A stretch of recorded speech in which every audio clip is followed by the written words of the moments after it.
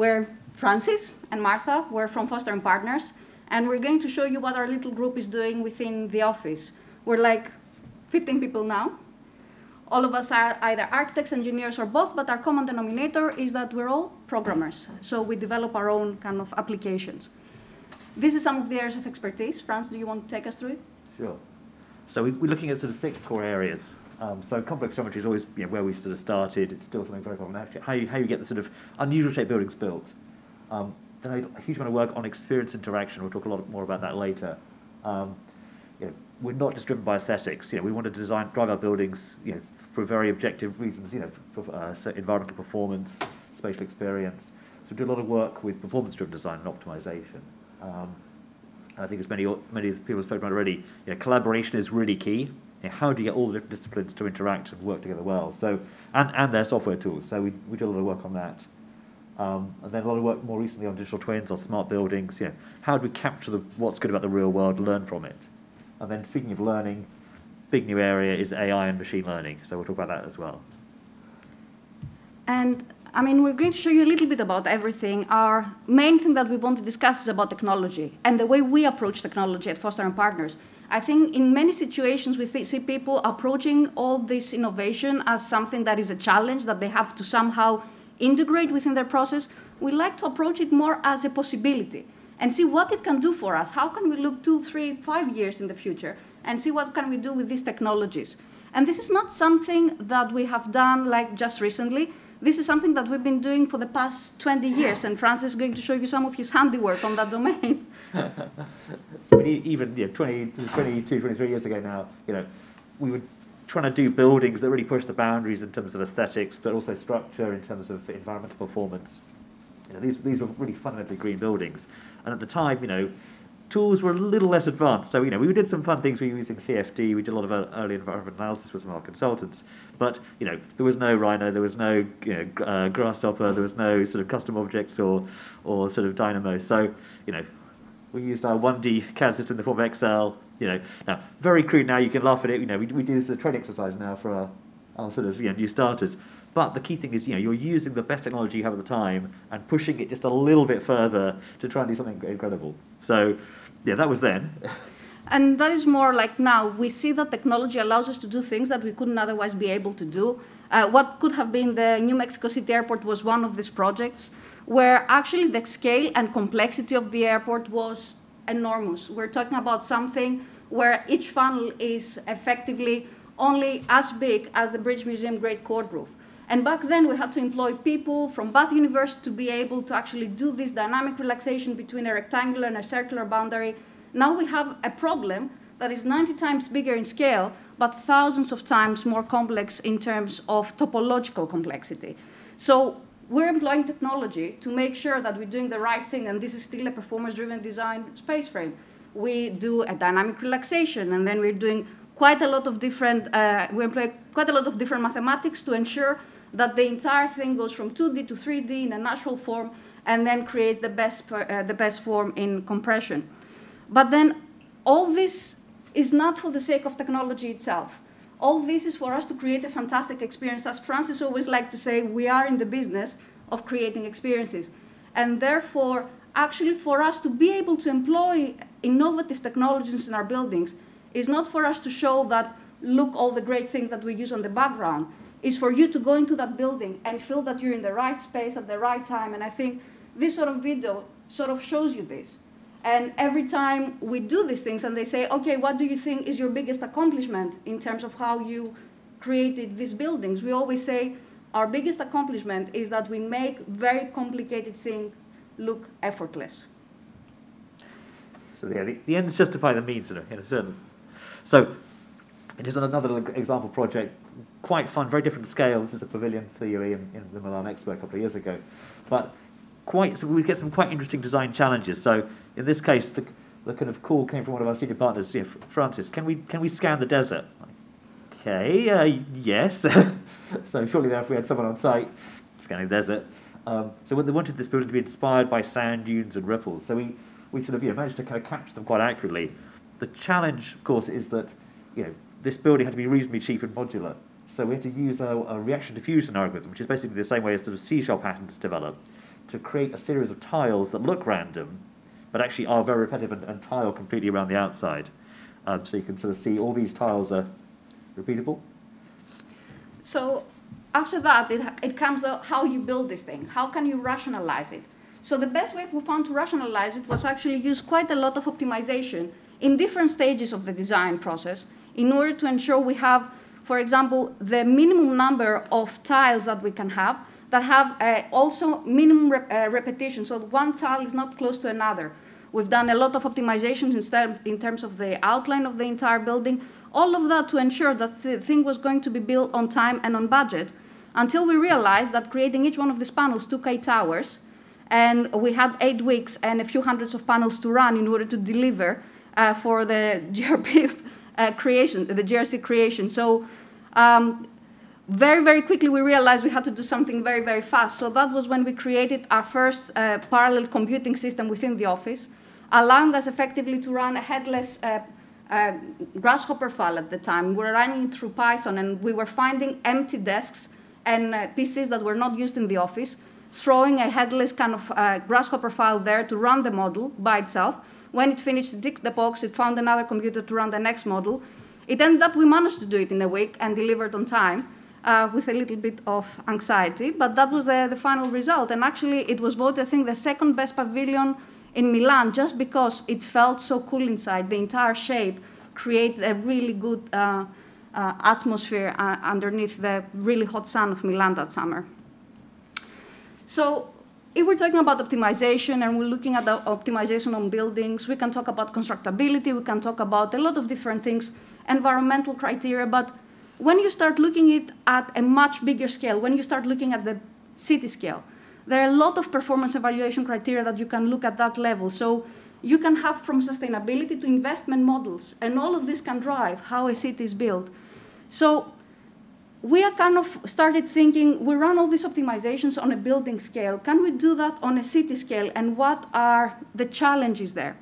We thought if we have a particular road network and some typologies that we can change in a certain way, can we, rather than creating all these different, uh, uh, these different models and analyze them, instruct the computer of how to put a model together, then instruct it to run hundreds of thousands of analyses on of these hundreds of thousands of solutions, and then de deliver us with a solution space, which is not just one model, but a lot of different models that click, tick all the sort of criteria and the objectives that we wanted. So uh, we'll give you an example. We had the Guangming Hub Urban Regeneration Project, and for that, the criteria that we had was we needed to enforce special connectivity throughout the entire site. We needed maximum views to the green from all the apartments. We also need to have very good daylight conditions and hit a particular total floor plate. Now, we could go, as I said before, and run these tens of hundreds or thousands of solutions depending on how much time we had, analyze them all based on the analysis that we had, and then try to kind of find the best one. Instead, what we did is we create a recipe. We create a genetic algorithm that allowed it to kind of create these different solutions, analyze them, and then give us that solution space. And the good thing was that because we have developed our own distributed computing system in-house called Hydra, we managed to do that for a city scale, not in a matter of a month and a half that we calculated it would take, but actually over the weekend. Not only that, but we're creating our own applications to facilitate people visualize what these options are. It's not good enough to say to somebody, oh, you have this like a hundred options, take your pick. You need to understand what, how the different objectives are betting against each other and what makes your solution good. These are not just tools to give you a starting point from a good place to start your design from, but it's all, they're also tools that help you, they, they help teach people why they should make the decisions they make and help them understand what are the repercussions of their design actions. Uh, we're kind of uh, taking Hydra much more forward now. We're actually incorporating things like City Engine, uh, having, harvesting the powers of procedural city modeling directly through our models and creating much more realistic urban uh, designs as we kind of run our optimization. So talking about optimization, let's go down to machine learning. And I will take you from the city scale down to the material scale, where I think this was now four years back in collaboration with Autodesk. We actually used artificial intelligence to predict how passively actuated materials could react under different temperature changes. So what we've done is we've used Hydra again to run hundreds of thousands of analyses to understand how thermoactive laminates perform under varied temperature conditions. We then took that huge data set that we acquired and trained the model to reverse engineer the problem, so to understand what should the layering be of that material in order for us as designers to have a particular deformation of the material.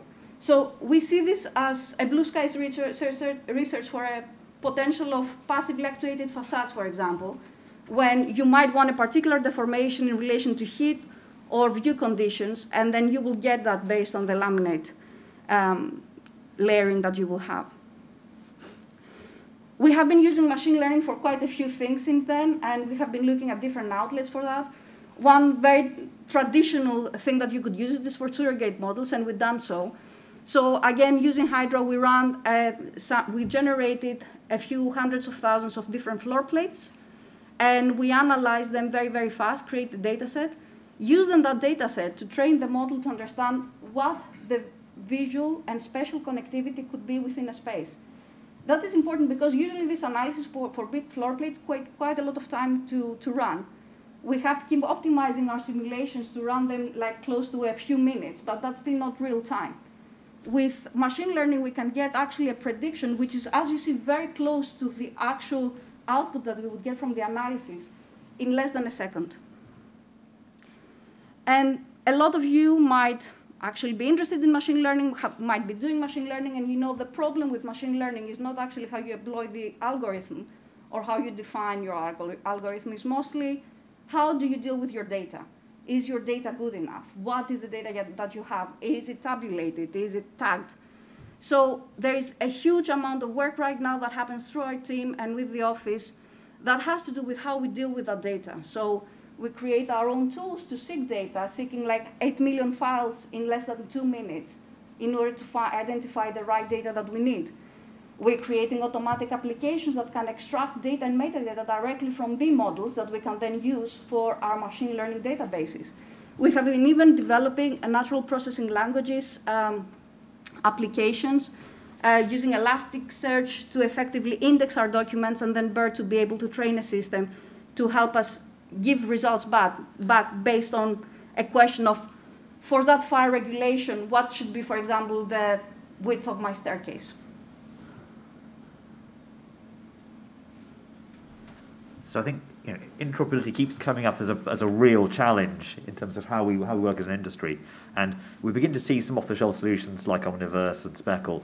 We've actually written our own in-house system called Hermes, um, which started about sort of what, four or five years ago now. Mm-hmm. Um, which we've been using on a lot of active projects, and it's proving to be pretty successful to, to solve some of the challenges that you know, are coming up. I mean, Greg this morning mentioned the challenges of sort of coordinating relationships and how there's nothing really the shelf. Actually, we think you, you actually have got some of the solutions. What this essentially is doing is operating as sort of a meta parametric model. So individual disciplines are building their own parametric models. They define the relationships within their domains, but also with uh, to each other's domains.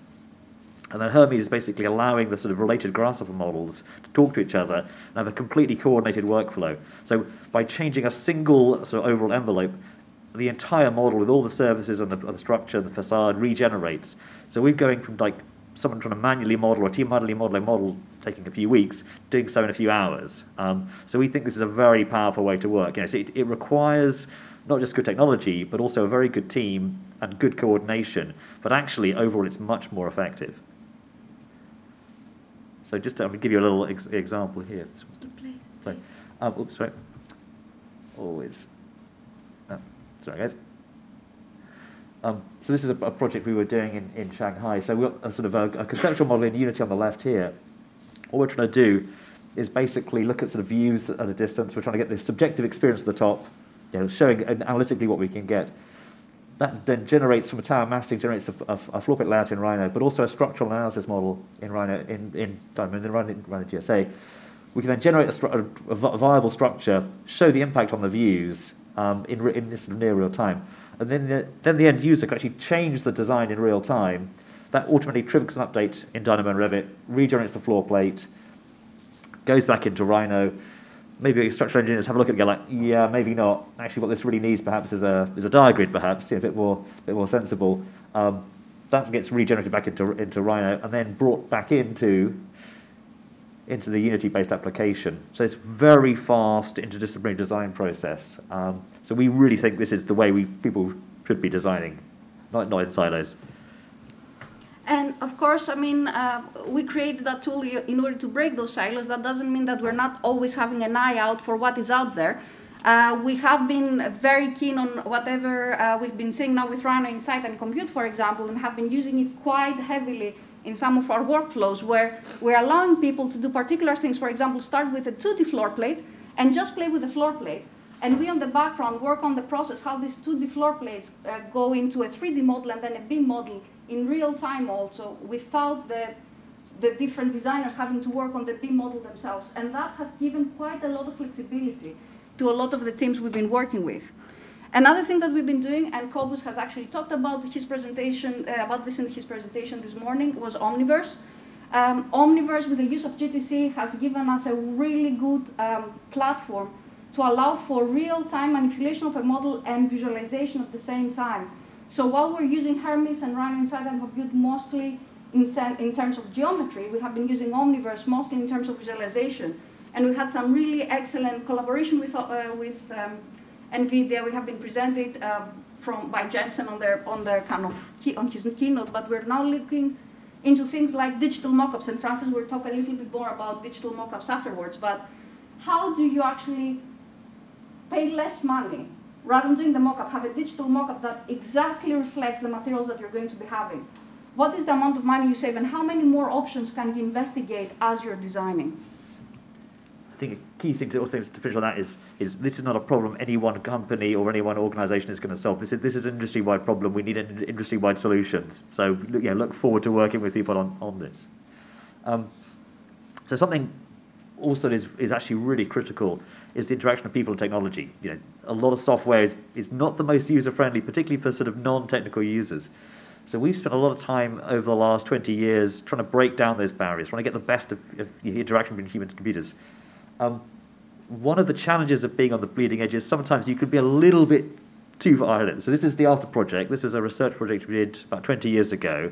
Um, this was a multi-user AR system with integrated analysis, with real-time links to CAD, um, it was about 100k a person, and it worked, but uh, it was maybe just a little bit too far ahead. What's interesting, it maybe took us maybe 15 years till you know the hardware caught up to where to our vision. So this is you know our system called Sandbox using HoloLenses. Um, so it's, it's sometimes you, you have to kind of just be a bit patient because the ideas sort of take a bit longer to kind of come through in the implementations.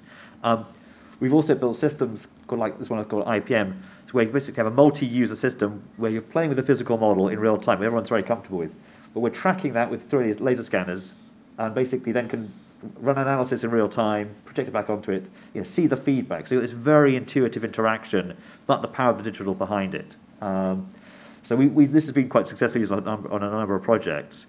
Um, sort of a later implementation of this tool called Sandbox. Uh, uh, well, Sandbox is like our Minecraft in steroids that we build in-house is our newest, like one of our newest applications that have to do with performance-driven design. And as Francis said, as uh, technology evolves, our tools evolve as well. And therefore, now quite a lot using uh, games engines, we are developing these sort of interfaces that we try to make as flexible as possible. Not everybody is comfortable with using a VR headset, but people can be comfortable using a tablet or their desktop or um, AR even. And these are the sort of um, interfaces that we're trying to integrate with Sandbox. And uh, this is Sandbox like uh, uh, live. Actually, we're working on a team as we were recording this. We uh, were looking at the master plan, and the beauty of it is you start kind of creating buildings very, very quickly, and you can directly see the repercussions of your actions. Again, is this idea that these tools are there also to educate, to help younger designers understand what they're doing wrong or what they're doing right. So here we're checking the, the shadows, we're clicking the button, let's run a vertical sky component analysis and views to the green analysis, see what we're getting. So the views to the green look okay, but then we're going right here, we see that there is a problem with the daylight potential in one of the buildings. We go, we delete a little bit, we, we make that shorter, run the analysis again, And there you go, you have a much better daylight uh, situation right now. This has not been speed up. This is real time as we kind of work in that model. And a lot of people have been doing a lot of things with sustainability criteria, spatial connectivity, agent-based, and we have been doing so as well. But what we find particularly interesting nowadays is how we incorporate soft criteria, like well-being index, embodied and operational CO2, or even financial value that you may have for one building. These are all things that we're now doing real time through this um, software and allowing users to have some feedback on that as well. I think another really key thing with this tool is it, it changes the way you can design. So Andrea hinted at this earlier, you know, that a lot of the way we've designed is very much sort of outside in. You know, you're, you're playing God with a, with, a, with, a, with, a, with a scheme. So with our sandbox tool, basically we can have this incredible dynamic zoom. So you can you can do the kind of global sculpting, but then you can immediately jump yourself right in there and experience it, what it's like at a sort of you know, human human scale. And that's that's really really important, you know, both for design, but also to explain to clients, you know, the implications of some of their actions. And uh, and was presenting, we thought, hang on a second, this looks familiar. So we, this is something we did earlier. but it's lovely to see some similar ideas sort of come again, the idea of a sort of doll's house. So you can, you can be in the space, but you can edit it. So I, I, I'm very glad to see some great minds thinking alike. So, um, but continuing on that thought, you know, at one point, you know, a lot of VR and XR is, is very, it's dynamic, but it's stationary. You know, you're in one place. Um, and I think, you know, as, as uh, uh, Cahill from uh, Aston Martin said this morning, you know, still the sort of physical model is, you know, the sort of the, the sort of the kind of uh, the ultimate way of experiencing something. So, you know, we make mock-ups; they're brilliant. You know, they, it's a, it's very powerful. It's very multi-use. It's very intuitive to use. The challenge is, you know, they're quite static. They're very expensive. So, what I'd like to show now is a new tool we've developed called Glaucon. So this is a multi-user collaborative tool that works at pretty much any scale, including one-to-one. Um, I'm going to illustrate it with a few projects. Unfortunately, the projects are still a bit confidential, so I, am going to have to let you know. I'm going to illustrate with a few dummy projects as well, but uh, bear, bear, with me. Um, so the first project we are looking at, this was a, uh, a lobby for a, a, skyscraper. So we actually took over a warehouse, which is about 100 meters by 30 meters. They, uh, some of our colleagues had, had built basically a one-to-one wooden mock-up, and with our visualization team had built a uh, digital version of, this, of the space with all the correct materials. And we put the two together. So basically, you could walk around this space, experiencing it, you know, having the tactile experience of walking around at one to one scale, but seeing the virtual visuals. Um, and very frustrating, I can't say the movie, but it's, it's truly an incredible experience to walk at that scale. Um, the other one was a planning inquiry we've just been doing. Um, roughly a 100 metre by 100 metre site. And also, this is actually live on the real site. Okay, so this is outside with changing weather, pedestrians walking by, you know, delivery people cycling past.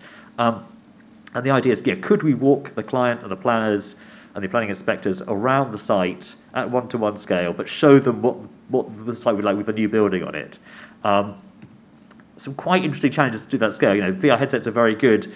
They're not really designed to operate at that level, so we did a lot of kind of custom development. But yeah, it was once you try this, you, it's very hard to go back to sort of static VR. It's such an intuitive way of interacting, just to walk walk around and experience it. Um, we we are we're finding this is a very very powerful tool to con- convey ideas to people. Um, this is our our, our, our mock-up project, um, but basically, you know, multi-user. You can see each other. You can point things out. It's really it, it's really kind of quite powerful. I think. One second. Uh, not playing. We also looked a lot at sort of what the right representations are. You know, you've probably seen various sorts of you know, avatars for different tools. Um, we settled on something which was sort of you know physically correct, if not sort of photorealistic, because the key thing you want to sort of convey the body language and the gestures without distracting people from you know does this have you fallen into the uncanny valley? Um, but the you know, the experience is pretty good. We actually found the collaboration is very slick, and what's interesting is people are going from being completely immersed to then being sort of yeah, taking the headset off and get, looking at look at reality, and there seems to be no break in the conversation. So normally you'd, you'd see some break in the suspension of disbelief. What we're finding is this is so seamless that people are just seamlessly switching back and forth without any challenges. You can see some of the fun, the kind of customized hardware we've had to put together, but uh, hopefully this will get easier in time. Um, but yes, really just, I think what's also really important is you've got, you've not just got the visuals, but you've got the tactile experience of walking around, you've got the sound of the city around you. The, the sense of immersion is just, is just something else. And I think it's worth also thinking about the sort of broader impact of that. So, you know, the way we design the spaces we create in, you know, they of course have evolved. So this is our office sort of 30 years ago, you know, drawing boards, you know, 20 years ago, sort of hybrid office, lots of paper. Um, you know, this is sort of recently, in the last year, it's been mainly teams, but we think, you know, in the future we could probably see more like a hybrid office, right? So building on some of the work we're doing with digital twins, he says, one second. Um, so we, we have a digital twin of our office. Um, you know, we have lots of sensors in office. So we can, we're learning from how the physical space is working. We're looking at how can we use it for wayfinding, looking at you know, what's the best space to occupy. But then we think we actually go beyond that. So what happens if you actually had a photorealistic version of the office where you could bring anybody in? Hang a second, this wants to play. Oh, no, sorry, my slides are being a little bit temperamental. Sorry, guys. Okay, so where you could bring clients in, you could start doing design reviews, but at any point you could say, okay, this is actually interesting, let's jump to site. Let's actually see what it's like at one-to-one scale. Let's walk around a little bit. Okay, so just complete freedom from where you are in the world. You could have people on site, you could have people, you know, in California, you could have people in London. You know, that complete freedom to experience the world at all these different scales, we think is going to be very, very powerful. Um, I think what's getting interesting as well is the sort of the, the um, the quality of you know avatars is getting better and better. You know, this is this is some uh, metahumans from Unreal. It really is getting quite. Sorry, this is PowerPoint is being misbehaving. It's not perfect yet, but it is getting pretty realistic. Um, and our slides have gone haywire. Let's try it again. Sorry, guys. It did play before. Uh, well, technology. Clearly, we and technology are not doing very well together. Yeah, I'm, I'm, just, I'm gonna, I'm gonna just, uh, I'm gonna start that back again. Sorry, guys.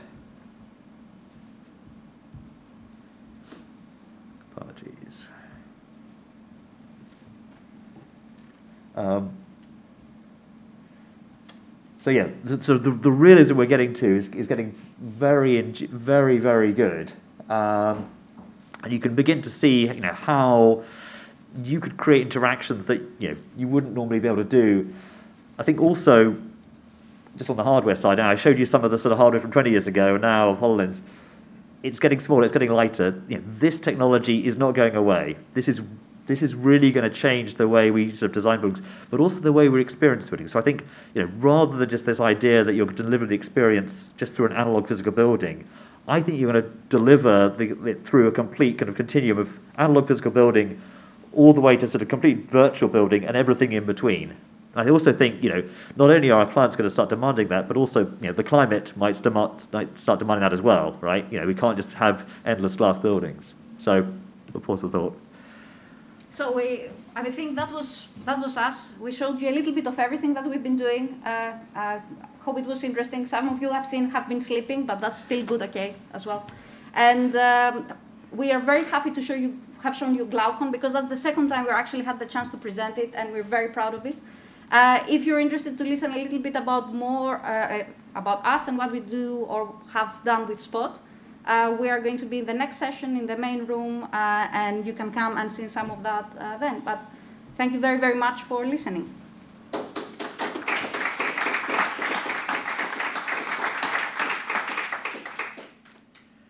Questions? Mr. Cork.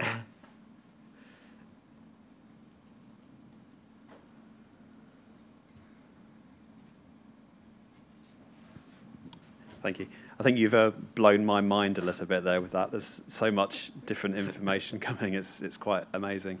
Um, I have a question about a lot of the technology you saw there. Is some of it's quite technical. Yeah. How do you go about making that accessible to less technical people within your practice?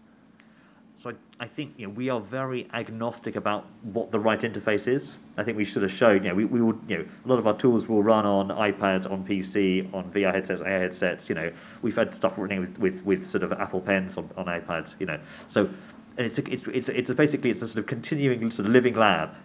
You know we have lots and lots of projects every year.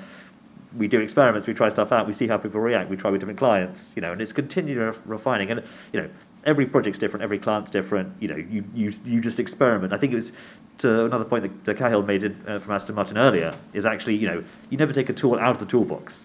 You're adding in you know physical models, you're adding in virtual models, augmented models, you know touch screens, you name it.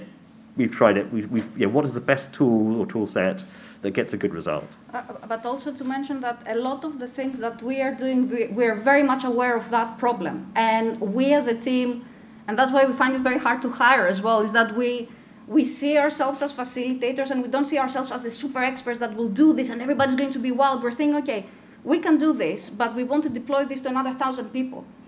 That is the challenge. How do you do that? So a lot of the things that we're doing is a lot of back-end development.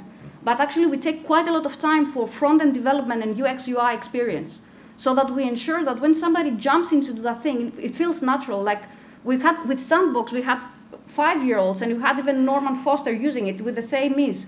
But for us to do that, uh, apart from the actual development of the backend, it had so much front-end development to make sure that this was kind of uh, viable and feasible.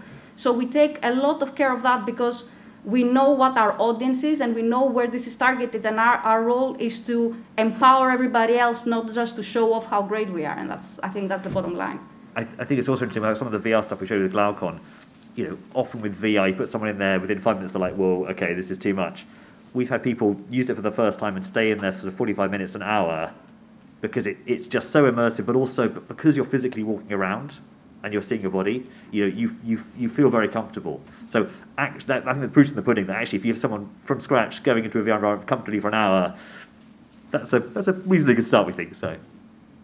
Thank you.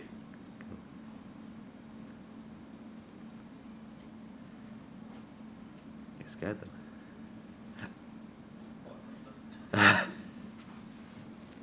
I don't want to hog the questions, but um, well, it, it, doesn't seem that they're like spilling in there. Um, so you mentioned how you're exploring Omniverse for collaborative visualization workflows, and you have other tools that you are using for collaborative geometry-based workflows. Having two of those models or things in parallel isn't the most efficient way of doing things. Is there a, is there a future where you see a single system could handle collaborative geometry and visualization? Well, it's, it's interesting what you say because for absolutely everything in the eco industry, what we always hear is about people trying to find the one ring that rules them all. And there is no such ring unless you are in the Lord of the Rings, right? Mm-hmm. What you have is a suite of different tools that are good for different things. And I think part of what we are doing is actually to jump in there early on in the when that is still a disruptive te technology and trying to understand what is its positioning within our pipeline. How can we use it? we might make it, uh, we, the same thing happened with Hermes, like we've seen Flux and we thought we, we're mu much better off doing it ourselves and that ended up being the right choice. We're seeing Omniverse and we're seeing a potential with USD that we haven't explored ourselves yet and we think that might be interesting in the future. I think there is a, a situation where you can not necessarily need to use one or the other tool, but different tools that do different things better. But then also think that these are still early days about some of, uh, for, some of the for some of these things, and we do want to investigate the potential. At some point in the future, we might say, okay, we're going to do this holistically because this works better for us as an office. But we're not at that stage yet, and therefore exploring, investigating, and making sure we have our finger in all the pies at this stage is probably the best position to be in. There's a, there's a lot of good tools out there. You know, we you know, we've used MicroStation. You know, got Rhino, we've got Revit, Unity, Unreal. You know, you, you name it, we're probably using it. You know, we're using it for what these sorts of what they're good for. We're integrating them when, when it, that makes sense. But we're, we're very open minded about you know what the, the overall solution is. And actually, more importantly, about comparing and always benchmarking. And guess what we're doing? God knows France and I have written like tools in our days that uh, we've uh, we shed blood and tears to, to develop, and then at some point something else came along that it was easier and better. And then I, I think we didn't think twice about saying, okay, we're scrapping all this now. It was good for while it lasted. It was useful. Now it's something much better. But you need to be able to do that benchmarking. Otherwise, you're st getting stuck in your own views of how things are, and you can never move forward. You can never develop.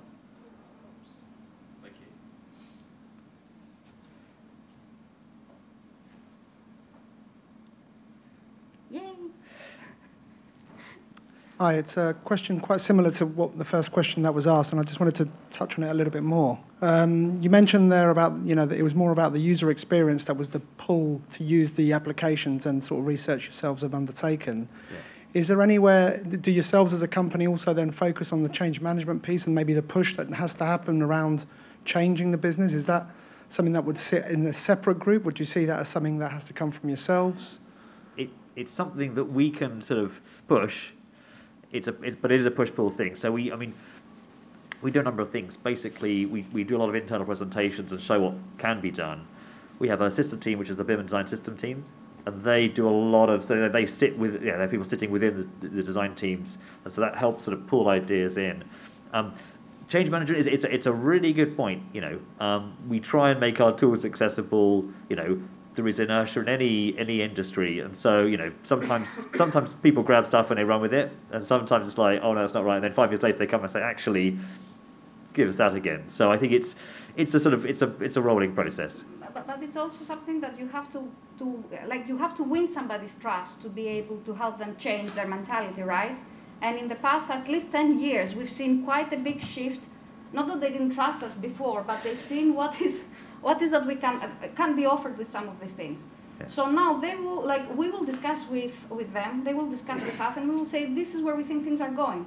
And we have quite a lot of uh, an open-mindedness for them to keep on doing these things. And actually, what they're most more interested in, that's the most good part for us, is that they ask us, they want us to deploy this through the entire office, and they themselves trying to change the the culture of the office to uh, integrate some of these processes.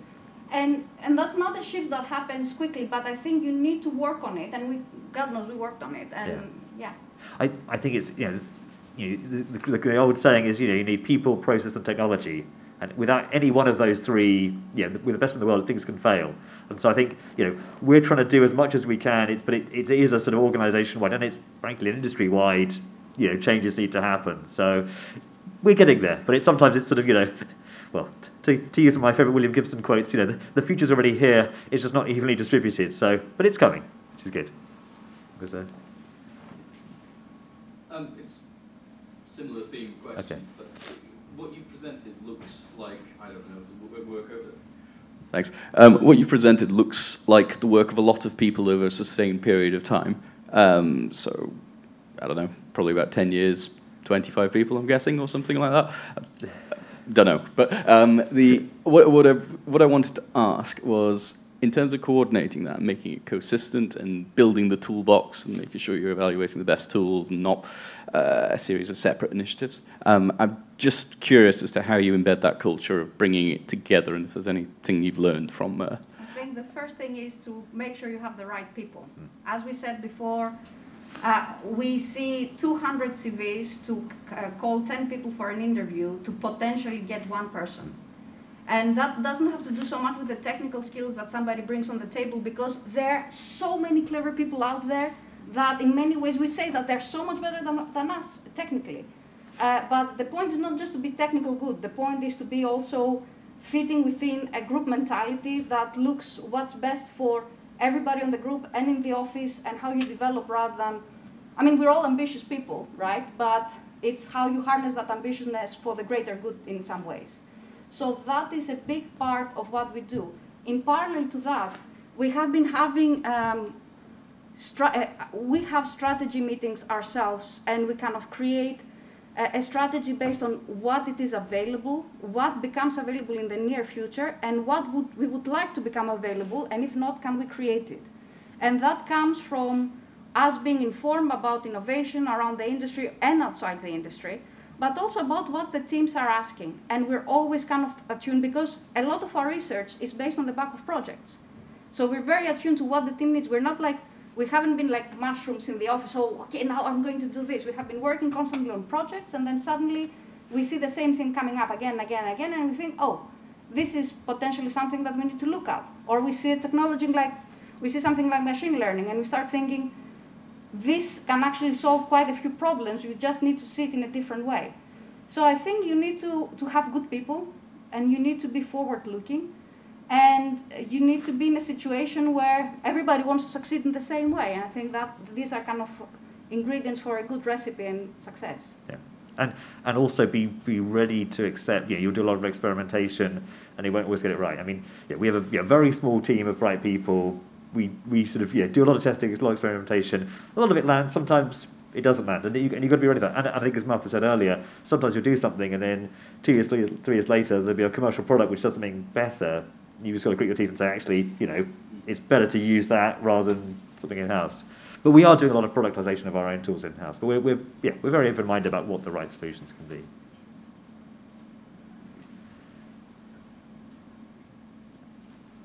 I'm conscious we're standing between you and lunch, so um, but we'll, we'll be around the rest of today. So come and grab us if you got any other questions. But thank you. Thank you.